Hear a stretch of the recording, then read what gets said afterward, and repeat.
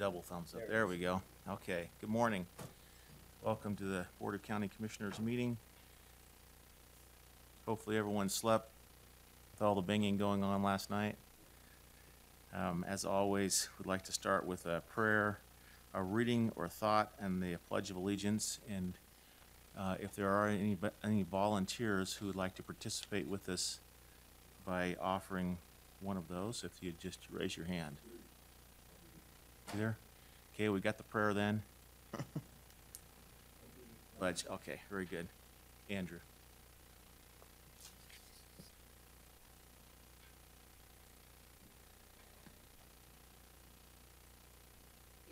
Dear Heavenly Father, we're thankful for our many blessings. We're thankful for the life that we have and the opportunities which we have. We're thankful for this country and the opportunity we had to celebrate Independence Day. We pray that we'll remember those principles that have kept our country strong. Again, we're thankful for all that we have and pray for thy guidance and pray for safety. And we say this in the Son, Jesus Christ. Amen. Amen.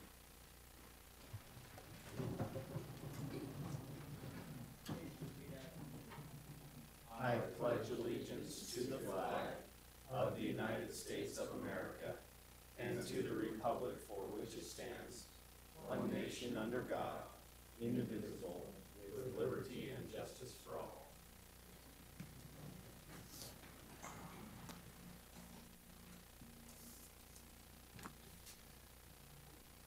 All right.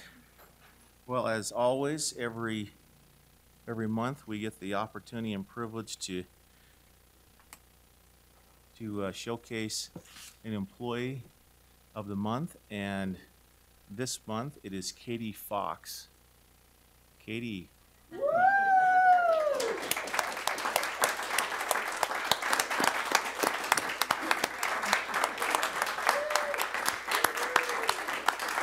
Come on up. You can, you can stand there. We'll give you, I get to read this, and then you can say anything you'd like to afterwards, if you'd like to. Okay. All right. Um, says, there is, there was no better choice for Employee of the Month than Katie Fox, Victim Coordinator for the Utah County Attorney's Office. She is undeniably one of the most devoted employees in the office and has been for the past nine years. As the second largest prosecu- prosecuting office in the state, we deal with hundreds of cases per month. Despite only having a budget of one and three quarter and three quarter victim coordinators, our office has smartly entrusted Katie Fox as the point person in our victim coordinator responsibilities. She is especially passionate about helping children who have been victimized and, and it shows. She will get down on her hands and knees and play Barbie, Zoom, Hot Wheels around the carpet, around, ar- around on the carpet, or play endless games of checkers. Do you win or do you lose? You always lose. You always lose. That's just the rule, right? um, anytime, any, anytime a child needs to be in court, Katie will cancel everything to be there to support them. When Katie comes into the office early or stays unexpectedly late, she always needs to rearrange childcare for her own children. She, she never seems annoyed or inconvenienced. She seems happy to do, do it because she knows she's serving others. Katie is also the first person to volunteer to help in, in a meeting or run a document over to the court when needed. She doesn't even seem to think about herself, only others. Katie's compassionate, compassion is noticeable in, in the way she connects with victims. She tries to take, she, she takes the time to talk to them, not only about their criminal, the criminal case, but their life in general. She has a deep desire to help alleviate suffering and will go out of her way to help. Katie is someone we look up to and strive to be more like in our professional careers. And I'm going to leave this with you, but thank you. Thank you for all that you do, especially for helping out some of the most vulnerable in our in our society. So thank you. Thank you. Come on up. Wait, wait. Do you have anything to say? Uh, not really. I mean, I just have a team of amazing people behind me. It's not just me. So the victims in our county are well served from all of our office. But Very good. Well, we've got this little plaque, this little plaque for you, and some You- you goodies have in to come here. on come up. on, come up here. You Hold pick, this. you can come here. And your picture will be in the newsletter if I ever write my article for this month. Congratulations. Congratulations. Where's this? No. Hold that front side out, and he'll take a picture this way. Yep, there we go. Or, I thought with Mike. Yeah, he's got it. He- That's all I. Surprise? He, he texted her to do it. Maybe you wanna plug our, uh, domestic violence awareness tonight because they're pregnant. Oh, yes. And by the way, before you leave, tonight at, we're starting at Seven. seven o'clock. Uh, we have our domestic violence, uh, meeting down in Spanish Fork at the High Chaparral. Is it still there at that? Is it there? Okay. Um, we'd love to have anyone who'd like to come to that as that's one of our initiatives this year as a commission. We're going every other month approximately with, uh, just shining some light on, on this, on this issue and how it affects, uh, the county. So thank you for coming, and if you can come down there, please do so.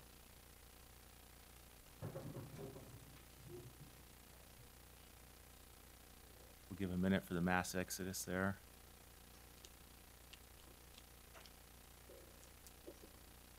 Okay, I'm sure On our- there's a on our joke ex- there about a whole bunch of attorneys leaving the room, right?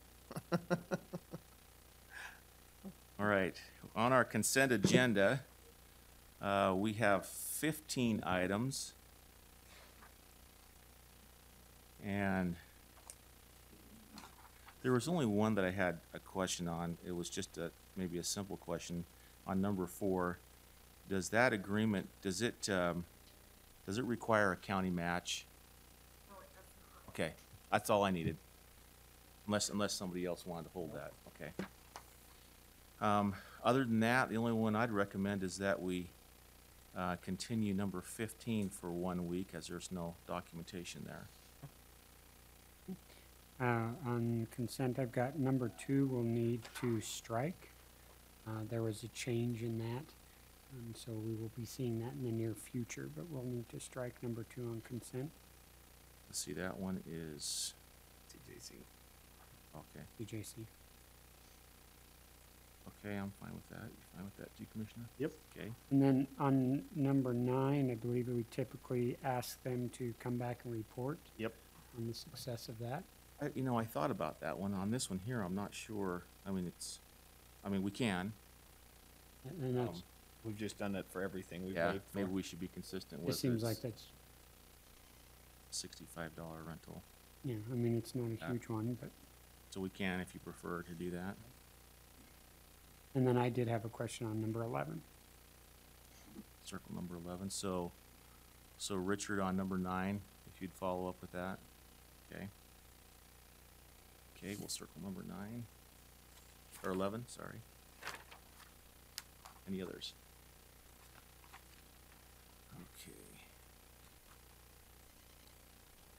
Okay. On to our regular agenda, everything will go on to consent except for what we pull off. Um, If we could, and these would be to either approve, ratify, or wherever the case may be, adopt. Um, If we could hold number two, number four, and number five.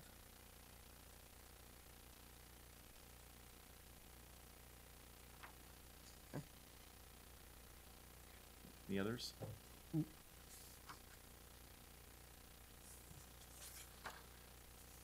Okay. With that then, all the rest of them will go to the consent agenda. Let's go back to number eleven.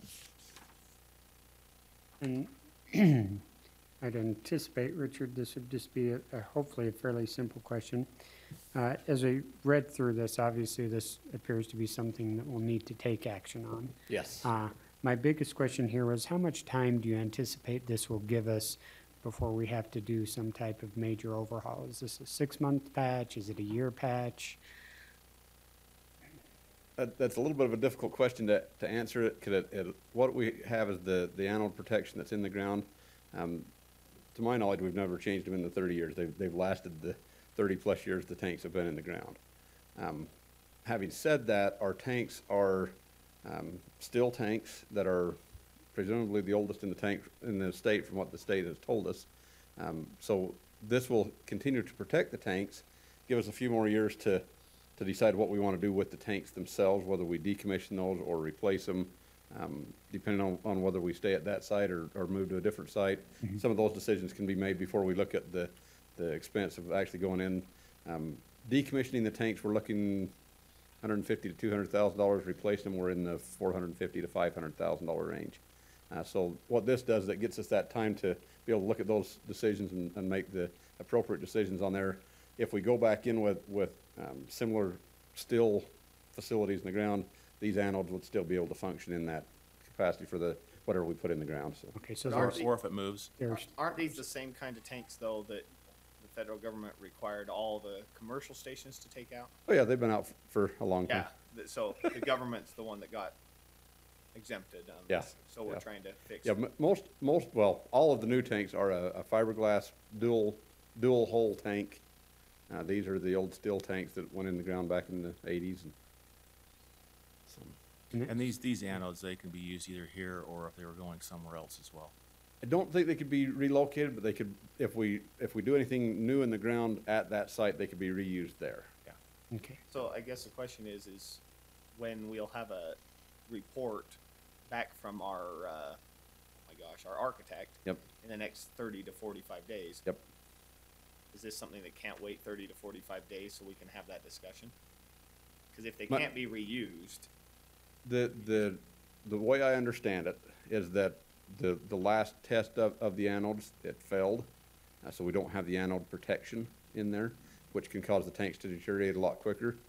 Uh, even if we do move to a different site, these will still need to be, the tanks will still need to be in service for the next year and a half to two years. okay, So, okay, that, that works. Yep. thank you.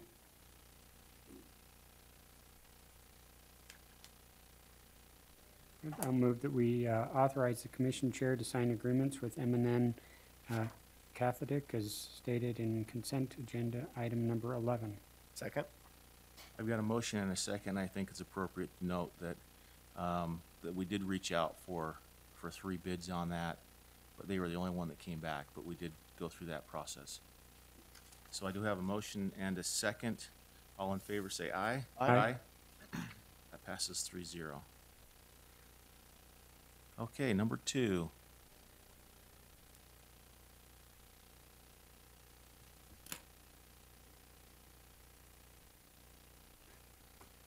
Just kind of give us an overview and I did have the opportunity to sit and watch this whole discussion at planning commission. It Well, was That's right, you're well quite inviting. well versed in this one then. Uh, this is Bryce Armstrong, Community Development. Uh, if you recall, uh, a couple months ago, the county commission referred back to the planning commission, a proposed ordinance that would allow basically a, a agricultural repair, uh, business to be located as a permitted use in the, in the residential agricultural zone. And so what, uh, currently the only zones that we allow any type of vehicle repair are in our, uh, neighborhood commercial or industrial zone and our, uh, highway services zone.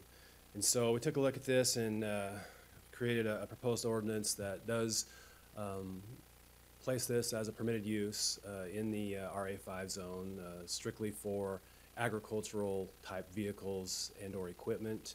Um, We've uh, gone through different sections of the ordinance and uh, proposed amendments that would address parking. we Created a whole section of specific requirements for this type of use in our Chapter Three section of the land use ordinance. We've also provided the opportunity for someone who has less than five acres uh, to have uh, the opportunity to utilize this business um, down to about three acres in our RA five zone. Currently, the, the minimum lot size for a home is five acres, but we do have a lot of non-conforming uh, homes on less than five acres, and so we've uh, provided that clause in there. And um, I think that's about it. We did uh, provide a couple definitions of agricultural uh, equipment and vehicles, uh, loosely based on state definitions. Um, The planning commission did suggest a couple changes from the pro- uh, original proposal, and I can kind of highlight those uh, in the red line version that I gave you. And so if you have specific questions, we can kind of Well, but their reasoning on some of them didn't make sense to me. One of the reasons that they wanted a shorter timeline and stuff like that was like they said, uh, we don't want these things parked in front of houses like this. And I think they were applying this to subdivision types. And again, we're talking the RA five zone, five acre lots. And then the other one that bothered me during the discussion was when they limited to a forty foot trailer. And I'm like, Twenty, so- twenty, I think it was a 20. but the discussion was forty, like they w- went back and forth and I'm still like, even at forty, you got farm equipment. I'm, I'm, again, if we're trying to take care of farm equipment, why we would limit that as far as that length, you know? Sure. So a couple things on that. Um, The first item that Commissioner Graves was mentioning refers to the amount of time that a vehicle can be stored on the property while it's being uh, repaired. I think that uh, the the intent of that is to kind of prevent these type of uh, uses from becoming some type, you know, unsightly and more of a a storage, a salvage yard. And so I- I, I think that, that the intent was to require that a vehicle that's stored on the property be uh, repaired and moved on, moved back to the property, uh, owner's property within six months, is what we had originally uh, recommended. And then the uh, planning commission recommended to shorten that to ninety days. I think I forgot the word days in your red line version, but, uh, so that was uh, one recommended, uh, And, and that was my problem is that is I'm not a farmer, but I have family who are, and there are times that it takes parts sixty Sure. days to get here, and so that was kind of my my, you know, and I appreciate the planning commission their debate. I know it wasn't a unanimous in that. Yeah, yeah, so tha- that's why staff kind of felt, well, you know, s- six months seemed reasonable, but Sure. obviously it's, uh, you know, subject to, to review there. Uh, let me just highlight the other, uh, changes specifically from the planning commission meeting and then answer any, any questions you might have. If you go back to, uh, on the red line version, under the definition section, two dash two dash A, under our, uh, definition for a farm or uh, agricultural vehicle subsection B, it reads, "A vehicle or semi-tractor or an attached trailer which complies with the requirements of Utah Code Title 4, uh, 41 Motor Vehicles Act for registration and licensing, in which the primary use is for transporting livestock, harvest, harvested crops, farm supplies," and then this is where the changes come. Um, it- it- it- The planning commission proposes it to read "feed," and then strike out uh, the portion that says, "but does not include the operation of trucks by commercial processors of agricultural products," and complete that uh, definition with "and other agricultural products." I think the concern was, was the, I think the example was given of uh, Shepherd's Eggs, who's got these larger transport uh, trucks, and they did not want to be prohibited from being uh, able to be worked on in these type of facilities. And so we felt, that the planning commission felt that if we struck that out and just said, finished that with saying that these vehicles need to be used for, for agricultural uh, uses and hauling of agricultural products. So that's one change from the planning commission meeting. Um, The other change, I think we just, uh, or there's two other changes uh, Commissioner Graves referenced.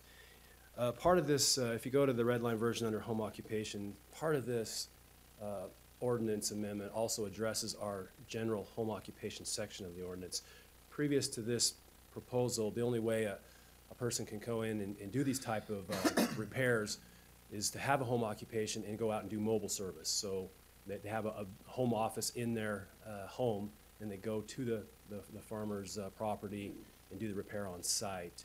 Um, Part of that service allowed a, a vehicle and also a trailer to go out and, and conduct this uh, service. And so to facilitate uh, someone either having a home occupation as part of this type of proposed business or just a home occupation in general, we propose to lengthen um, or extend the, uh, the rating or the size of a, of a truck that's associated with a, a home occupation um, for uh, agricultural business and also ex- uh, ex- extend the uh, length of the trailer. Previously, it was 25 feet, and it went up to 40 feet.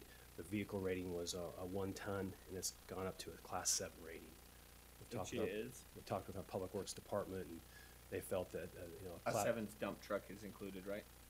A dump truck would be included in a class seven. Right. Thank you. And then the uh, last change uh, was in the text of 351, which uh, we just discussed about the, the number of days that, a- or the time frame a vehicle can be on site being uh, repaired. So uh, there's a lot in there. Uh, If you have any questions, we can kind of address specific, specific sections of the ordinance. Planning Commission did, I get, uh, again, recommend approval for this with those changes. A Couple questions for you that I have. On the uh, parking spaces, I know that you have in there um, parking spaces for one outside, you know, there has to be a, a parking space for anybody that's outside of, you know, that comes in, like uh, an employee of some sort. Outside employee, correct. What, what, what does a parking space mean? So our, our ord, our ordinance defines a parking space by actual space, like, I think it's nine and a half by eighteen. Like And so you'd have to have a designated. Um, we don't, we don't, uh, over there? yeah, we, we, we, Identified, yeah. in the know. county, Identify. we've always kind of, uh, had it, you'd have to define, I mean, there's a, under our, our parking section, there is a, a layout plan you have to show that our Public Works Department looks at.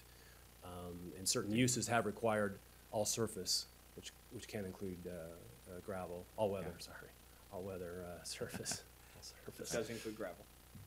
Yes, you Okay. understand there. So, yeah, you that would be really- subject to our definitions in chapter uh, two So and three. would you have a problem if under D two, we just stopped at one trailer and took out the length?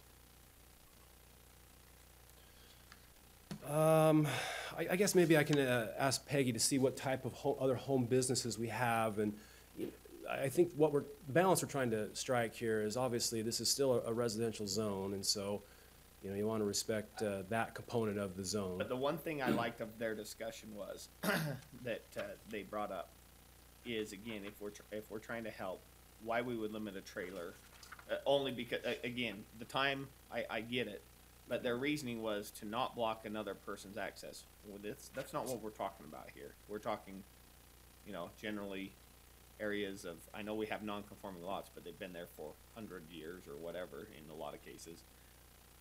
I guess the question I have is, we've already limited to certain size and, and as far as what can tow and what can or cannot be, so why would we limit the size of a trailer? Again, if we just wanted to get the job done, not be an eyesore, get in, get out. That's really what we're trying to do, right? So why would we limit them, I guess is the question. Sure, and I, I guess what we were looking at is trying to get the, the minimum size trailer that would provide the opportunity for someone who does have an ag repair service to go out and, and do the job. And we, we do have one person who would like to utilize this that seemed to indicate that that was a, a sufficient length, but, uh, I, I don't necessarily know of There's a lot specific of farm concerns about it. equipment parked by Judd Harward's home that's exceeding forty feet, that if you had a repair business and needed to go get it on a trailer and bring it, you would need a bigger than a forty-foot trailer. Sure, and, and I, I don't, That's how I'm looking at it. and I guess I'm, I'm not familiar with what the maximum size of a, of a trailer would be, you know, and so you sometimes want to put a cap on it. Um, Okay. But with a class seven rating vehicle, I mean, we've given them the vehicle, now we're basically saying, oh, by the way, go, you know, go get you snowmobile trailer that holds two snowmobiles. That, that's what it feels like to me, that's the equivalent. Sure. Oh, anyway. Sure. I, I I don't think we'd have a, a strong uh, opposition to that, so. I agree with that too. Um, on the, on the, uh, talking about the home occupation, on a, on a, it looks to me like it conflicts a little bit if you look at, uh, E.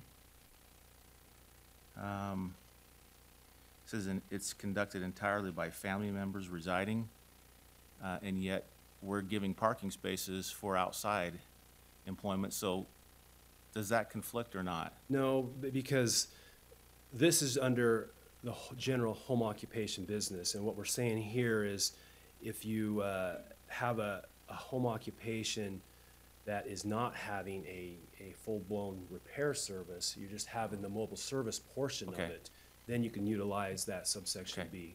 All right, makes I sense. just, well, as I was reading down through Sure, that, I was no, like, I- hmm, that, and then, and it kind of goes along the same lines with, uh, um, with I, kind of concerned me a little bit too. Uh, it does not create any odors, smoke, dust, heat, fumes, light, glare, sounds, noise, vibrations, radio interference, you know, it, with television and stuff. I, I don't know how you can get a grinder out there and be grinding some welding down or without creating some sort of noise. I, I just don't know how that, or you're welding and you can see welding going on for miles, you know, with this. And the dust, Um, technically, the standard of county roads, we create a lot of dust on most of our I roads just just don't by know how driving. that, I don't know how you can actually, you'd be out of conformance the whole time as you're trying to With, work. with on- the, the repair service or just other home occupations? Well, mean, no, I'm talking about with the repair service. Sure. I just don't know how that, that And I think- happens. Sure, Peggy licensed So- lots of these, so I'll let her. So I, I understand it's just a little confusing. We're, we're talking about apples and oranges here. The home occupation section is just for home occupation. That's for you to have a business, an office within your home, and we are allowing these people to have also a mobile business. And so Okay, so that's, you're separating that's the home from the- exclusive, exclusive the from, buildings from outside. the ag repair business. The ag repair business Oh. is something totally different, so you have to kind of okay. separate those two. So as long as you got your, the next one I was looking at was K, as long as you got your flammables, I mean, you got your welding torch, all that kind of stuff out there, you can't have it in your home, in your garage. Well, basically, home is- if, if, if it's a home occupation, then these are the limits to the home occupation. Okay, So, but, but if, if you need to weld for your ag business and you've got proper approvals from us and from fire, building, then you're good to go, because that, that is, you know, that's a different, um, a different category than a home occupation. So you really have to separate the two. So if it's just a home occupation, a mobile business, what they have on their truck, they can do, but they can't weld outside because we don't allow the outside use for a home occupation. We're talking about something that's happening within the home. But you can go to, to John Smith's farm and you can do some outside welding there if he needs, you know, something has broken. okay, Okay, that, that, that, I'm, I'm, I'm understanding that now, that separation between the home and then the business part of it that we're talking about. There was some language, and I'll see if I can find it, where it says that everything has to be met. Um, where was that? Um, there was language saying that everything has to be met below, and yet I didn't know if everything, let's see, I should have marked it. I mark it, parking spaces? Well, maybe just in general, since I can't find it. There is, um, how, how does this affect any other groups on a, on a, on a county-wide basis? Do we, any, have any negative effects? I think you're talking Uh, about three fifty-one C four, the structure shall all meet build, all building, all fire, all health code, is that one? I don't remember it being that far down. Um, oh, maybe it's page under seven. C. Uh,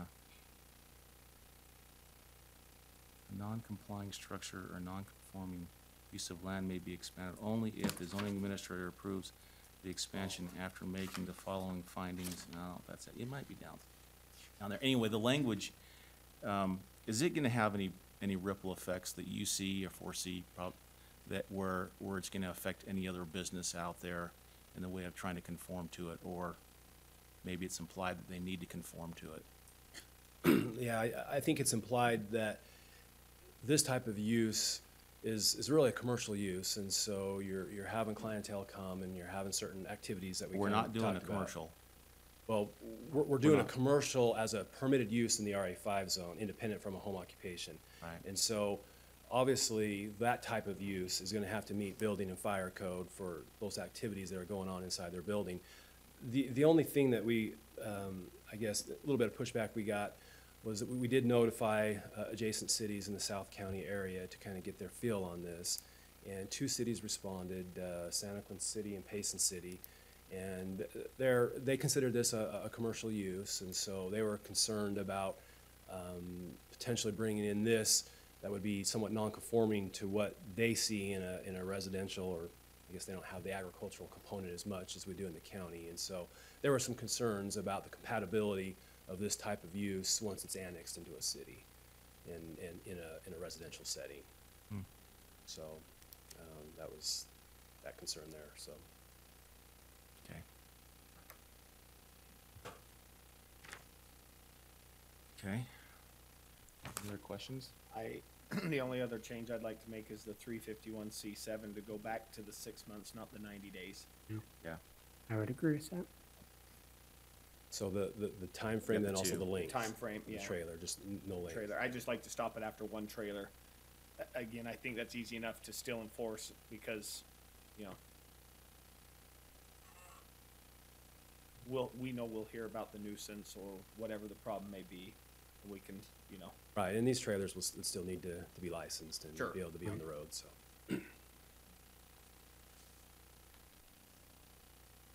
Okay, well, a motion would be in order to, uh, Okay, I will So move amend? that we adopt an ordinance. oh, hold on. I, Oh. I, I think the Johnsons are here and Yeah, would we like do to have some speak. public Okay. comment. Yep, All right, I ret- I retract those words. No, I'd just like to say, uh, thank you to the planning committee and the commissioners and all those who have helped on this. And my questions have been, oh, your name, uh, Dan Johnson, thank you. uh, have been, the only concern I had was the six months going to ninety days because I've got one part right now that I'm fourteen month, fourteen weeks out before I can even get the part to start on it. So I, it just kinda would cripple me if it was that short of a time frame, because a lot of times you have to get a a part in before you can find out what all's wrong, and then we still have to go from there to fix it. And so that was my concern. And, uh, like I say, I appreciate, uh, Peggy and the planning committee and all those who have helped with this to, because it is helping me, definitely. And I appreciate that and the commissioners. I think the only thing you do is like they do camping up there where you have fourteen days to camp, is you just move it off the property for a day and then move it back, Well, for the clock again. so, That some seems of, to be that the would be routine. okay in some cases, but some of them cases are pretty tough to do. Yeah. Thank you.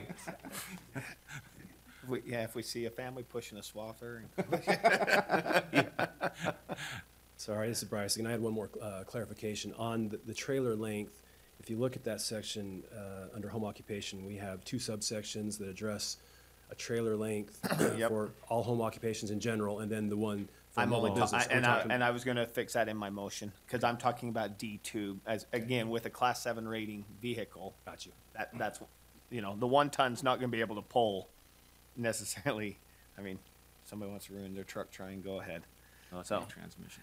I, I will, uh, move that we adopt the ordinance with, uh, as stated in number two, with the following changes in section three thirty D two to edit that after the and one trailer period, so getting rid of the rest of that.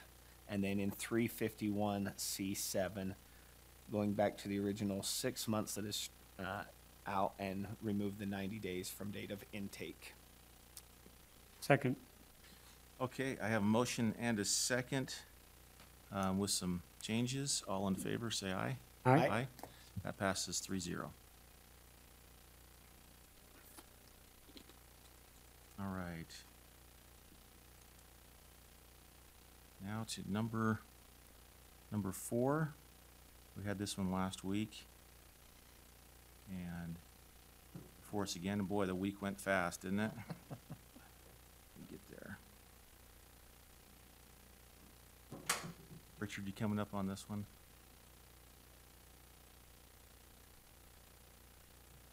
You can come up too, Andrew. And Sean, or you can all come up for all Whoever's that. coming matter. up. You just state your names. State your name, maybe you can state your names now and then we'll know. Ri- Richard Nelson, Public Works Director. Andrew Jackson with Mountainland Association of Governments, in case you had any questions on fifty-nine twelve, twenty-two eighteen. No, we're fine on that one, I think, after reading through it. Sean Elliott with Mountain Land. Okay. Um, Does anybody want us to all start, I guess, unless you want to Well, start or uh, anybody? The only thing is on the uh, thing that's marked, I know we've talked about, we talked about last week adding things, but on the thing that's identified that we are approving this list, it is not identified on the projects below funded list that we are, what funds they are. Right, there, there's, there's two projects, and it's in the staff report that was listed, uh, with that as well, uh, not on the, the chart, but on the staff report that went to regional planning. The two projects that are, that are before you for county funding are the Elk Ridge Drive project. I can tell you what number that is here in just a half a Nineteen. second. Oh, at twenty, sorry. Twenty and Yep. twenty-two. At twen- twenty, the Elk Ridge Drive project, and twenty-two, the Provo Lakeview Parkway Phase Three, in the amount of one point six million. that was the, the dollar amount that was available. So the request was for six point two. The full six point two is not available. When it went to regional planning, it was, uh, recommended that the, the, the one point six that's available be approved for that project and move forward so they could, they could start. And then as other funding were to come available, then that could come at a later date, so.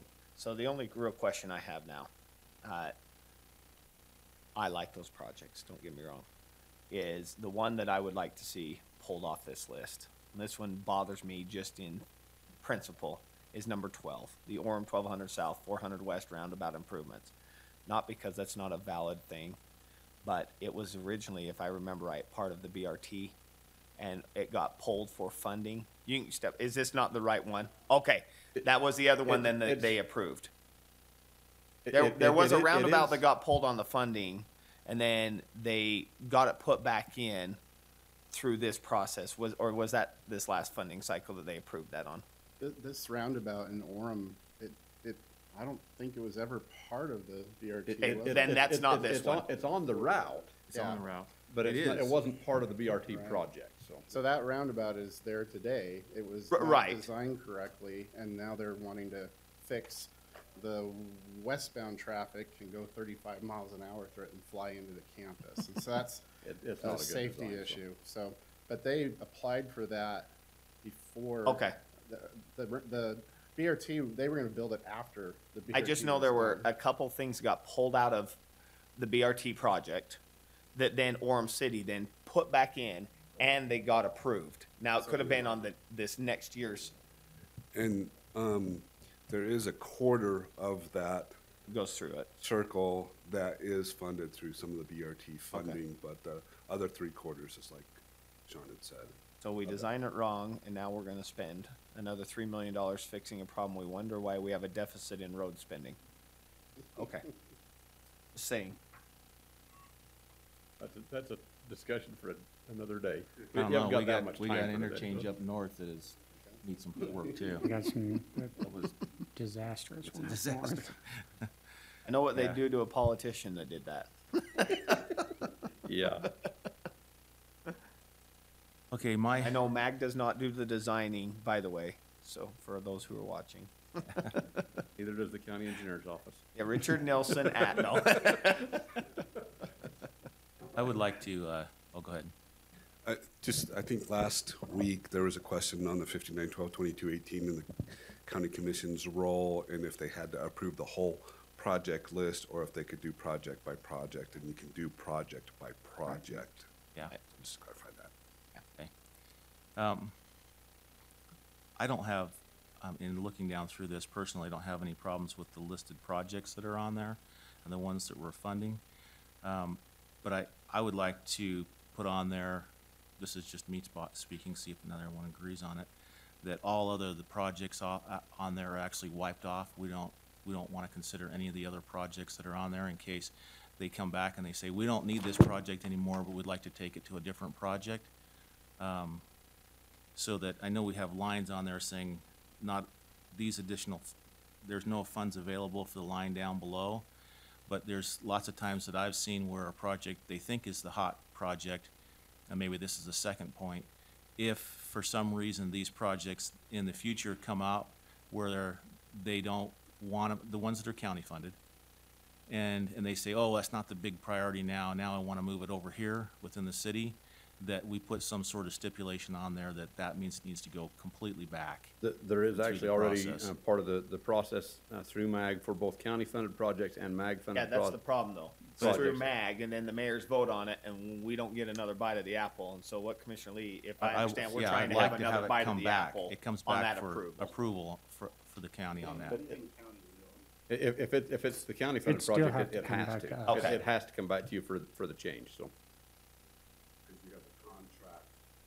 Right. Okay, I just wanna make sure that that's, that, that, And the- that happens. Yeah, because the whole Orem city getting sideways, and and I feel bad I'm picking on Orem. I'm not really. I, it's a beautiful city with a lot going on. But last year, we had to vote in the summer. They had a project that was approved and a project that never got approved for like six years. And all of a mm. sudden, they come to the mayors and the mayor, Mayor Brunst comes up and says, we really need this sidewalk that no engineer ever voted for and gave them votes. It was on the project funding list for several years and all of a sudden it got put through. That's part of the process I think we're trying to address here.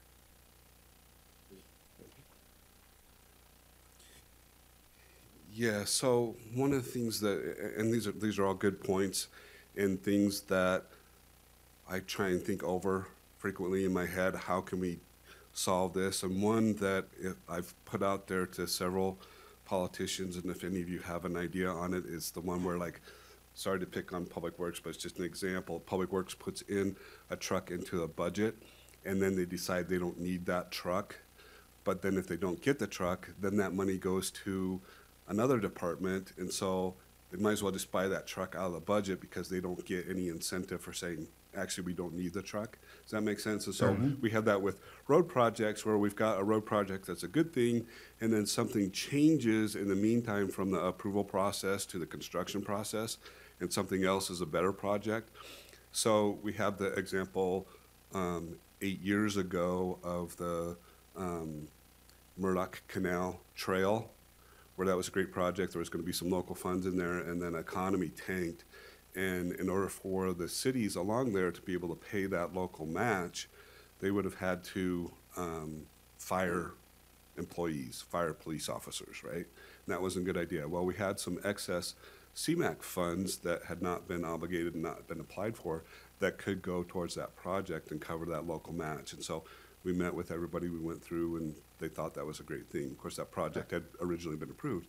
Another one is the west side connector from the freeway out to mm-hmm. the airport.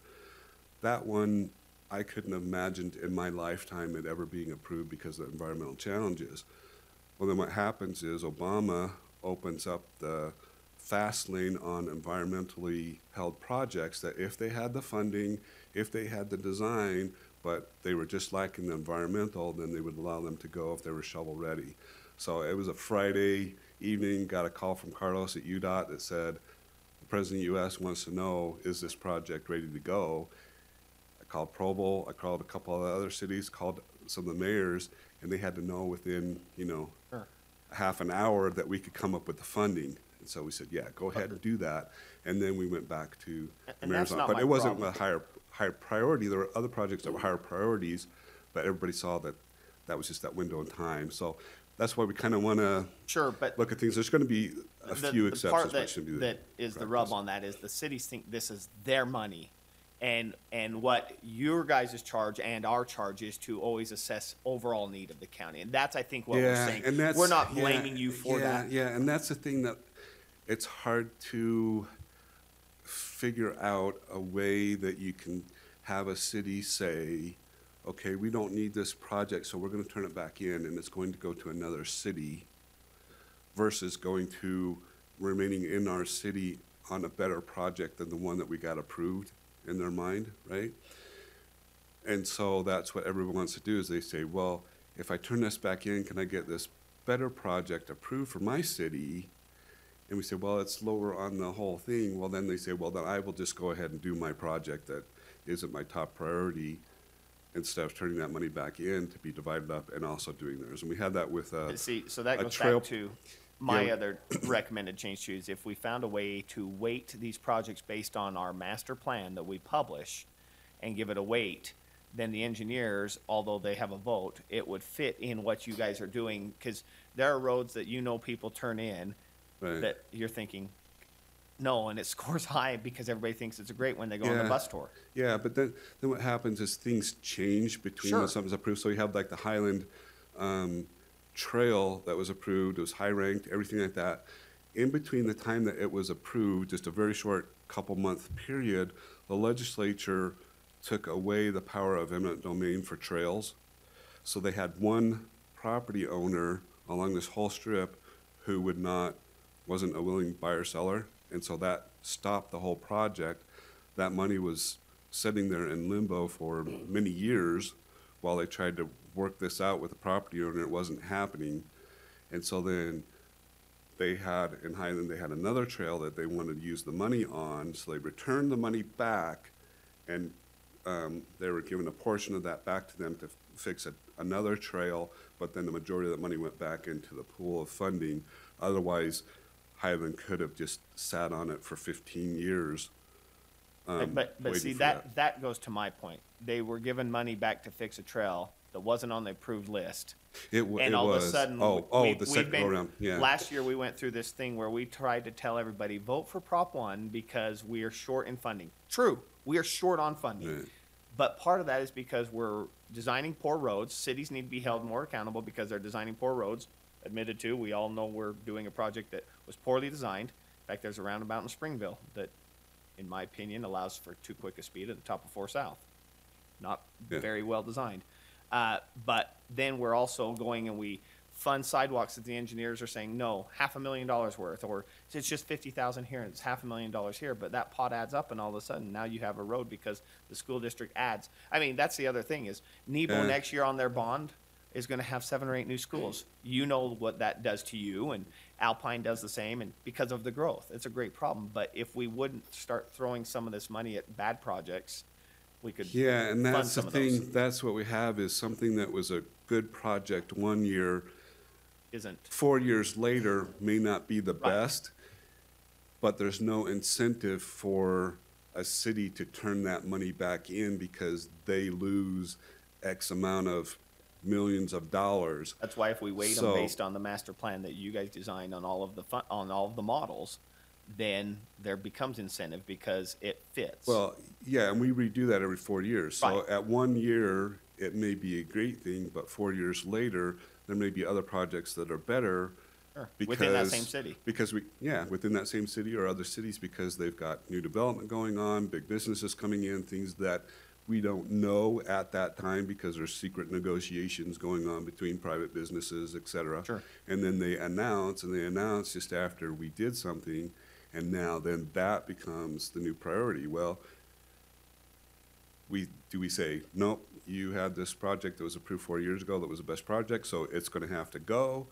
The city realizes that if they turn back the money, they quote unquote lose money, because then it would go to the project that's right behind them from four years ago and not this new project. So that's the one that we really struggle with trying to keep in time Sure. with what's currently um, needed, with also the requirement that in some cases it can take fifteen years to get a road And that's, approved that's and one of the reasons why, um, all those that are not funded on this list, I mean, we've talked about it, and that's the reason why I'd like to say that, that Utah County doesn't, um, agree to these, because four years from now, when they're looking at it, and some money's come back, they say, well, let's go back to the list, and then the next one gets, gets funded, or, uh, something of that nature, because it was approved, uh, as a, as a list. Yeah, it's the only thing would be like, say, say like with the West Side Connector, where it wasn't on any priority list.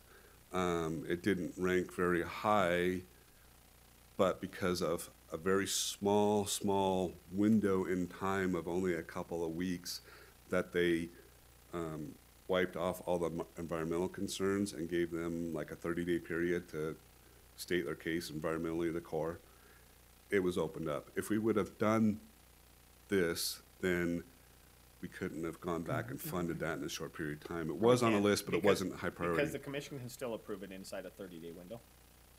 We ratify Well, stuff. but if, if those type of you're, things. if you're making a motion and saying, we will not approve anything that's below this line. On a, on an automatic basis. Yes. Oh, oh, okay, oh, Yeah, sure, no, we, okay, we just okay, want yeah, to yeah. readdress them with you. Yeah, yeah, so you can To us, we feel understand, like- here's the reason Right. why this Right. needs to be done, okay, okay. To me, yeah, I okay, feel like I'm we're sorry, actually yes. in partnership and saying the same thing. I think we're Yeah, trying to give yeah. you the avenue to help you guys do what yeah, you as, know works. as long as there's that opportunity that Yeah. if a window opens that is shutting the, and everybody Yeah. agrees. Because we want to open it That's up and good say, there, there may be others that are not on this list, but we don't say this Okay. list takes priority Yeah, over other yeah, things that yeah, are going yeah, on. But yeah. it gives you and Okay, Sean okay. and all your staff the ability to say, no, this project Yeah. does make more sense Yeah, and it's just- push it. Every time somebody says, okay, we're not gonna do anything that, and then it seems like two weeks later, sudden something comes up and we say, oh, this would be great, but we just said two weeks ago, we're, okay. Yeah. I'm with you, that, that'd be fine, yeah, yeah, as long as you can do that on an ad hoc basis for those individual projects. And if, and if I could, and I'm gonna, I'm gonna state this, if I could get support, um, I would actually put in there that, uh, this, the county's, the county's money here, when we're talking about that CMAQ money, because I know that's part of the discussion for future for this three million dollars for the BRT in there. I mean, I would, I would be willing to go ahead and say, if the cities want to go with the three million dollars for the free fare for the, for the BRT, then the county money is in jeopardy um, for some of their projects, if they, if they want to vote that direction, just because um, of Because how. Richard will spend it.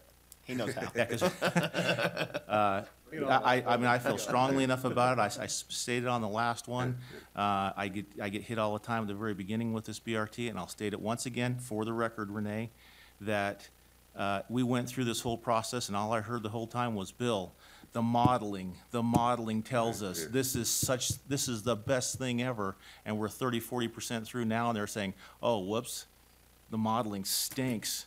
There's no way we're gonna have that kind of ridership unless we go out there and, and, and, uh, and give it away for free.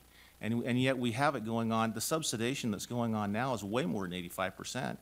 When you got Provo giving away passes, and you got others that are giving away passes, UTA gives away passes to their board members, you know, for, I mean, the subsidization is huge. It's a lot more, and so I, I, I don't like that. Um, Yeah, and, and I appreciate that, and you'd stated that back, I think, in March, and then Yep. stated that at the, um, regional planning back in March.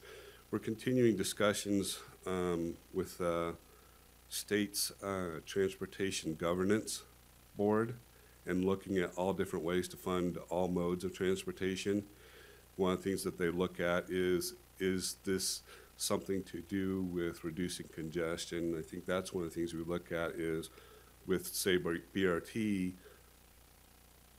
end of the day, what do we say is a success of BRT? Is it that it makes money? Is it that it runs? Oh, RT makes money? Yes. Oh, he's he's Yeah. asking- Is he's this, saying- are these Oh, the questions? Is, okay. is that, is that what we say? If we say success is that BRT makes money? Okay. Or do we say success is BRT runs on time? Which means say if they pick up nobody, they can be very accurate on their time, right? Because that's the thing is, we could run a very accurate, efficient system if we didn't have to pick up people all the time. Is it taking people off, out of their cars and getting onto BRT? Is that success?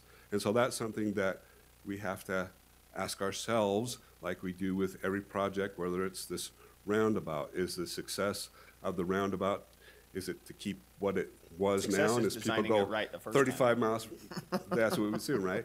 Thirty-five miles an hour through there, is that success? Or do we modify it so that something else is success, so we can get through traffic, through it, uh, without delay, but not at high speeds. And so we go through all of our projects and look at those and say, what is success and what do we do? And sometimes when we have a project out there, it's adding a right turn lane or it's adding a double left turn lane once we get out there and it's going and reality happens. And so that's one of the things that we want to do is just continue that discussion. Well, the only, the only leverage that the county has, because obviously there's more mayors that sit on the MPO than there are commissioners. And, um, and they could, they could vote for this CMAQ funding, um, as you've, as, as you've stated. I, I don't know if the, if the, the votes are there from talking with the know. mayors. I mean, I talk, talking with the mayors, they're pretty upset as well about a lot that's going on. But the only, again, the only leverage that the commission has is with this money. Yep. Um, that's it. And, and so, um, you know, as I, as I've mentioned before, well, you know, I'm, ups- I'm, I'm upset that we're trying to, uh, make this a free, fare zone for two years or whatever the case may be with it. It always gets met with, well, yeah, but you're one of only three votes, you know, in the commission. If- Even if the whole commission goes that way, the mayors can supersede it. And so, uh, that's the reason why. They Uh, can't supersede the county funds. But they, but they can't supersede the county funds, and if we were to put in there, yeah, you wanna go that route, that's fine. You Which they can- all want. They can go that route, um, then you're gonna have to give up this, this part of it. That's the reason why it, it's, it's enticing to me that, you know, maybe some, we put something like that into this, where it says, you wanna go that route, fine, you have to pick and choose. So there's one other um, part to Commissioner Lee uh, talking about the subsidization that that never gets talked about to the cities. That I think now is finally becoming a talking point through like uh, Proposition One that we had. Sweet. Um, and that is the one thing that UTA doesn't. They are allowed through vote to take the quarter cent sales tax that they get to run. Oh, the first quarter? Yes, and the second, obviously, um, a large portion. Problem is, is even if they get those people in those buses, they run empty, they run full, it doesn't matter to me. Irregardless, to use my favorite term, for Richard, the real word is regardless. Right. But Irre- Irregardless. I want to make sure Richard understood me. Yeah, irregardless sounds so much better. Regardless, uh, the reality is, is UDOT drives on the roads, puts a lot of road mileage, and doesn't have to pay for any of the wear and tear. Their O and M is not reimbursable to the UTA. cities. Yes, Yeah. UTA. Yeah. Did I say UDOT? Sorry, sorry, UDOT.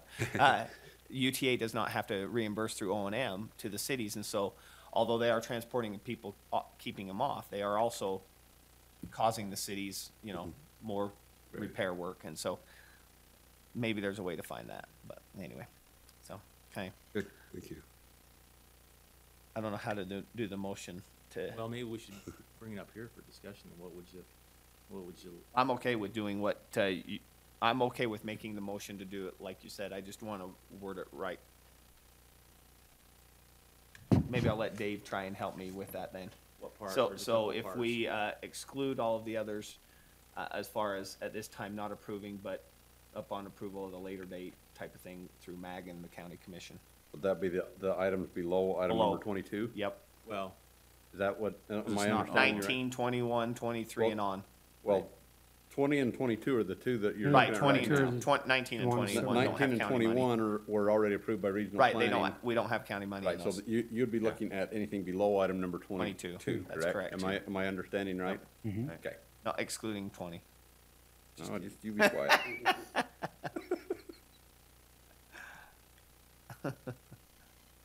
Are you running for mayor up there? No, just kidding. No, no. I'm as close to political office as I ever want to be. So if you wanna help me with a motion that would work. On the county funding. Yes. Mm-hmm.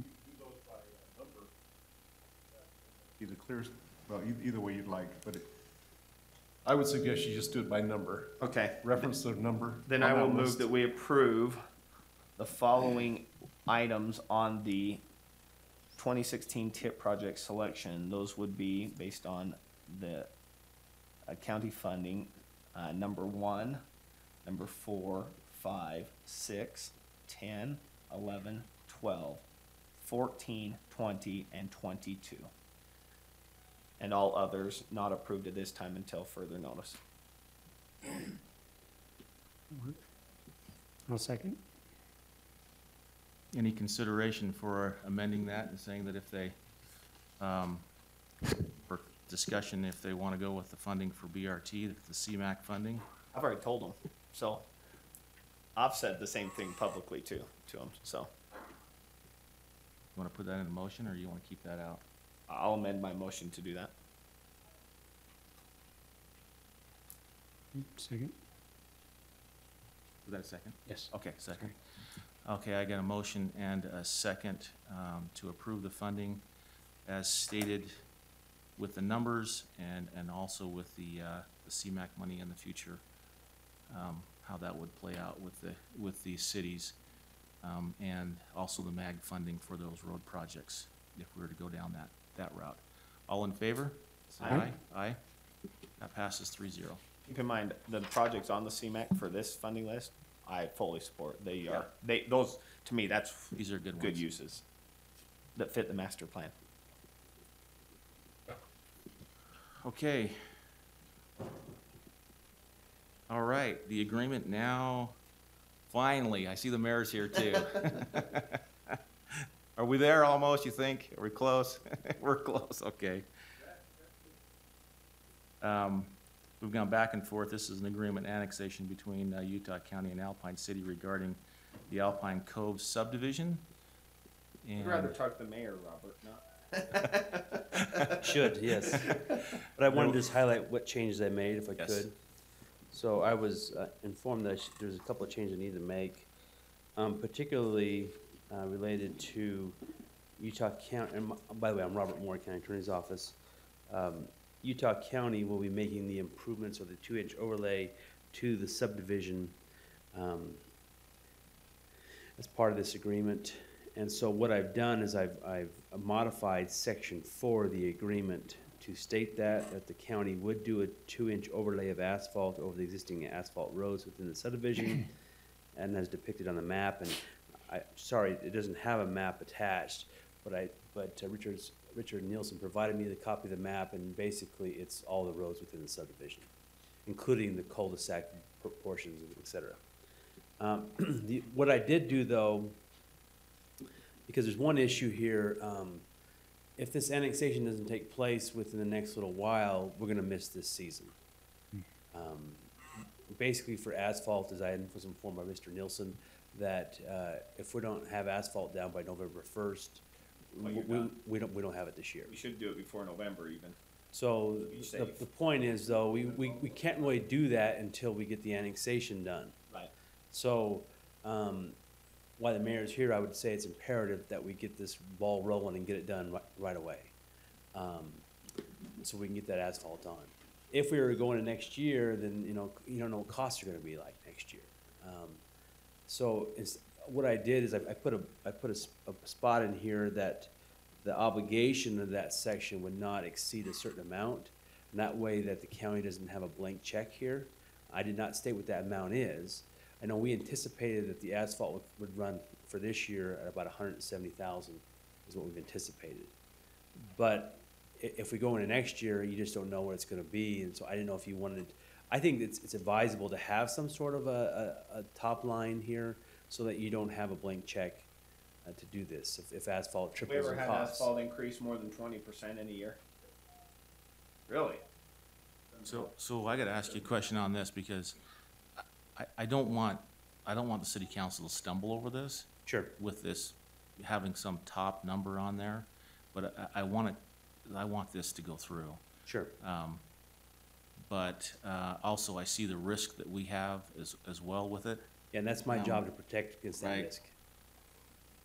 Just a road. If everything worked perfect, it should just, you know, if. Yes. it w- We should be able to go through and, and, and get it taken care of. And that's what we anticipate too. Um, I- Obviously, you could amend that number That at that was going subsequent to be my time. question, why can't we just put the one seventy and we can amend it if necessary? Or even if you want to go to a little slightly Yeah. higher than that, you I can mean, do that it's, too. I, I mean, that, would- my personal feeling would be we simply put in the anticipated cost and then if need arises that it needs amended, it's Yeah, we, a and you simple can certainly do amendment. that. This is your agreement. Um, obviously, if it's approved by, uh, Alpine City, they would also have to approve any amendment to it. But if, it- if you're going to amend it to increase that amount, I don't see why they wouldn't. Why do they that. would have. So, so let me ask you on the annexation then, once, once we've sent this through, and I know there's a process, gotta go, you know, to the governor's office, all that kind of stuff, the lieutenant governor's office. Um, has to be, a- first go through the city, and the city has to approve it. Um, Do, are there any, are there any stall points for us, or are the stall points now on, on the city side? Once the agreement's approved, um, we have some provisions in this agreement that everything's tied to the annexation being completed. By state statute, the annexation is not completed until Lieutenant Governor says it is. Right. And so that's, that's where the money comes in. We're, we're obligated, um, we would obligate it also for the, for the asphalt. After that happens, we would, um, also be obligated to, uh, to, uh, the roads over to the city as well. Right. And that all occurs after the annexation. So between now and, and the annexation, I can't think of anything off the top of my head that would be on ours. Construction before quit claiming the deed, right? Or quit claiming the roads over. Correct, because we don't wanna have to quit claim them Right. and then have to ask permission from the city to Right. asphalt it, Just so. wanna make sure. Yeah, so the, the idea was uh, kind of a sequence. First of all, the money, after the annexation is complete, we would give them the money for the water infrastructure, um, within thirty days. We would also asphalt within sixty days of the two-inch overlay a- of asphalt. And then within thirty days of that asphalt being completed, we would then, um, quitclaim the roads, which would require us to, to have a deed, basically, to do so. So let's assume their city does it. What's our timeline from the state right now? What are they averaging? Are they at thirty days or are they? Honestly, I'm not sure where Alpine is in their process right now, so, so that, that's part I don't know, and that's, I'm glad the mayor's here can, can address that. That's why I asked the state, where the state. The what's state, their time- uh, you know, once they get it, then they should return it back to us right away. We can even push it with them a little bit to make sure we, it's usually just a matter of checking the box, really, with the state, for the most part. Mayor, do you wanna make any comments? Sure. Any questions for me before I sit down? Thank you. Nope. Thank you for your work. Must be nice to do something that the city likes for change, huh? We love the county, don't you? At least I do. Uh, just a couple of comments first. Hey, thanks for your support last night on a wildfire above Alpine and Fort Canyon. County, county engine showed up. They- It was wonderful to have them. I'll tell you, I was standing there just wringing my hands because Fort Canyon is a one-way in, one-way out right at the present time. And it was full of people, and if it had gone, we would have had fatalities and lost a lot of homes. And I, and it was the support of the county engines and uh, some of the local folks around there that saved us last night. And then I went to bed about midnight and felt a whole lot better about it. So thank your people through the system, if you would, please. Uh, uh, Where we're at in Alpine, we have, we have come to, to the point of, all it takes is the, the ordinance and the vote to uh, approve the annexation. The Alpine, uh, the, the residents have come in with their petition. The petition's been accepted, approved, and gone through the necessary uh, time ta- uh, table that it takes to meet the ordinance in Alpine City. So we're into that process right now. What I plan to do the minute you make a vote here is uh, meet with their homeowners association, which which has not been active for about 15 years, but all of a sudden found themselves a voice, which is great. We appreciate that, and we have dealt with individual uh, citizens there in, um, in uh, our county residents, in the uh, Cove, and they're the ones that have brought forth the annexation petition with adequate uh, names and uh, property values. So that's, that's where we're at right now. Uh, I plan to put it on the, um, that'll probably be the second uh, city council meeting in uh, this month, in July. And uh, we'll move forward with that, and we'll have the ordinance ready for them to, to- for the city council to make a determination, which I think is, uh, would be approved. So if we put that hundred and seventy thousand dollar in that blank line, um, you see that being any problem with the city council? I don't see it as a problem because what it represents is your commitment to go ahead and do the asphalt. And that's, and uh, that's all, that's the big concern there. The water connection, which is, we feel is a, is a safety issue and should have been done a long time ago personally, because their system sometimes has a little problem. They have three wells, and the one well seems to go away when the creek dries up. And the other wells are, in a fire flow situation, meet the, meet the uh, requirements. But uh, uh, adequacy may be tested with, if, if we had a serious situation of that fire. So Okay, good. Well, let's just get it done. that's how I feel about it. I was Okay. on the city council in nineteen eighty-three when it didn't get done, so. All right, thank you, Mayor. All right, any other Hey. Discussion? I move, move that we approve and authorize the annexation agreement between Utah County and Alpine City uh, with hundred and seventy thousand dollars inserted as the blank amount in section four point two. Second. I've got a motion and a second as stated. All in favor, say aye. Aye. Aye. That passes 3 0. There you go, Mayor. Let's get it signed. I was gonna amend it and add box elder and, but Yeah. You know, my, my dad used to have a state, you know, when the state was patience, something. yes, thank you. Okay. Um, uh, we have, uh, we need seven, eight, and ten for closed meetings. As far as I know, unless there's any others that you know of. I move that we approve and set a date, time, and location for a closed meeting for a strategy session to discuss the purchase, exchange, or- or lease of real property, water rights, or water shares for today's date this location, following the completion of the regular agenda. Second. I've got a motion and a second, uh, to approve and set a date, time, and location. Um, as stated in number seven, can we also, uh, put in there kind of a, a, a, a second to that, this, that this, this will, we'll also have a meeting at eleven o'clock on Thursday, um, for the same. Oh, yes, with, with a We do? meeting, with an, an additional meeting for Thursday at eleven o'clock. Is that what, Dave? Y- Yeah, that's Oh. tomorrow, and that would be in the commission co- uh, conference The room. commission Commission conference conference room. room, yes. Okay, second, still the same. Second. Yeah, I've got a motion and a second, uh, to approve that with the, uh, the, the added time on Thursday, eleven o'clock at the commission conference room. All in favor, say aye. Aye. Aye. That passes three zero. Move that we approve and set a date, time, and location for a closed meeting for a strategy session to discuss the sale of real property, water rights, or water shares previously publicly noticed for sale for today's date at this location, following the completion of the regular agenda. Second. Got a motion and a second to approve a set of date, time, and location as stated number eight. All in favor, say aye. Aye. Aye. That passes three zero. Move that we strike regular agenda item number nine. Second. We got a, I have a motion and a second to strike agenda item number nine. All in favor, say aye. Aye. Aye. That passes three zero. Move that we approve and set a date, time, and location for a closed meeting for a strategy session to discuss pending or reasonably imminent litigation for today's date at this location following the completion of the regular agenda. Second? I've got a motion and a second to approve a set and set a date, time, location as stated number ten on our regular agenda. All in favor say aye. Aye. That passes three zero. We have no work session items. Is there any public comment?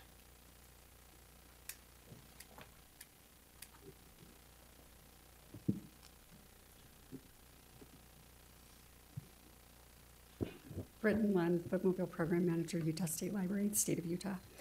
I brought you each a couple of, um, their flyers on how to use our online databases. There are ten of them, so I know that exceeds your needs, but, um, maybe there are others in the office that would like that. Also, there's, there are two, RB Digital and, um, Overdrive. And also, you need a Bookmobile library card to use it in the way the instructions are given here. You can also get to it through the Orem Library, Provo Library, the community libraries that are in your county, but the instructions are specifically for the Utah State platform. Um, I spoke with, Commissioner Lee, I spoke with your administrative assistant. He said you needed a couple of weeks. I just want you to know that I'm open to any communication, anything that you need from me to help you all make the decision. I also spoke to my director about because we are out of contract now and working without a contract serving your county. Um, she's comfortable with going on for a couple more weeks. That's what your assistant said you needed. I just wanted to let you know that and give you an opportunity to ask me any questions. Okay. Thank you. Um, uh, maybe we can speak afterwards, but, um, also, there was a couple things you were gonna do, um, that we haven't seen yet in the way of talking with some of the mayors and others and getting some information from Mapleton. Well, I'm sure that, um, your last five or six days have been a little, a little different than usual. Yeah. And I have a feeling that your city mayors have had that same Yep. situation. We've seen them. It wasn't, it wasn't easy to get in contact with people. I Yes. did make contact with everybody that we spoke about Okay. in one way or another, not necessarily speaking with them. So a couple more weeks may provide some opportunity for that as well. Very good. Thank you. Thank you. You just, okay, yeah.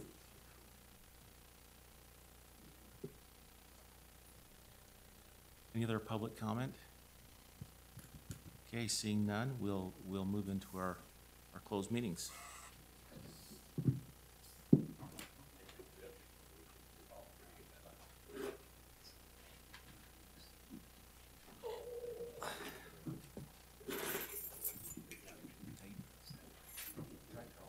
I know, I called you back like two seconds later. Couldn't get Probably a good thing.